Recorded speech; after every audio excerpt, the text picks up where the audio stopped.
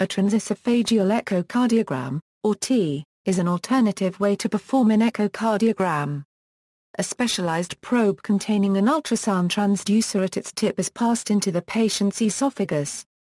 This allows image and Doppler evaluation which can be recorded. It has several advantages and some disadvantages compared to a transthoracic echocardiogram.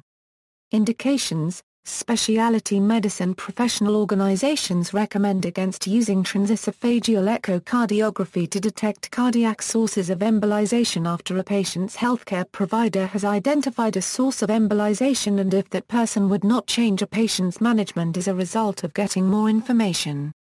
Such organizations further recommend that doctors and patients should avoid seeking transesophageal echocardiography only for the sake of protocol-driven testing and to agree to the test only if it is right for the individual patient. Advantages The advantage of TEE over TTE is usually clearer images, especially of structures that are difficult to view transthoracically. The explanation for this is that the heart rests directly upon the esophagus leaving only millimeters that the ultrasound beam has to travel. This reduces the attenuation of the ultrasound signal, generating a stronger return signal, ultimately enhancing image and Doppler quality. Comparatively, transthoracic ultrasound must first traverse skin, fat, ribs and lungs before reflecting off the heart and back to the probe before an image can be created. All these structures, along with the increased distance the beam must travel, weaken the ultrasound signal thus degrading the image and Doppler quality. In adults, Several structures can be evaluated and imaged better with the TEE, including the aorta, pulmonary artery, valves of the heart, both atria, atrial septum, left atrial appendage, and coronary arteries. TEE has a very high sensitivity for locating a blood clot inside the left atrium. Disadvantages, TEE requires a fasting patient. The patient must follow the ASA NPO guidelines, requires a team of medical personnel, takes longer to perform than TTE, may be uncomfortable for the patient, may require sedation or general anesthesia, there are some risks associated with the procedure. Process Before inserting the probe, mild to moderate sedation is induced in the patient to ease the discomfort and to decrease the gag reflex, thus making the ultrasound probe easier to pass into the esophagus.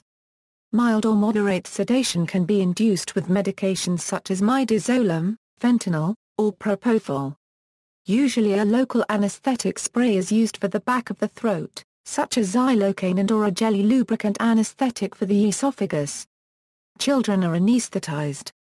Adults are sometimes anesthetized as well. Unlike the TTE, the TEE is considered an invasive procedure and is thus performed by physicians in the U.S., not sonographers. Clinical uses in addition to use by cardiologists in outpatient and inpatient settings, TEE can be performed by a cardiac anesthesiologist or CRNA to evaluate, diagnose, and treat patients in the perioperative period. Most commonly used during open heart procedures, if the patient's status warrants it, TEE can be used in the setting of any operation. TEE is very useful during many cardiac surgical procedures. It is actually an essential monitoring tool during this procedure. It helps to detect and quantify the disease preoperatively as well as to assess the results of surgery immediately after the procedure.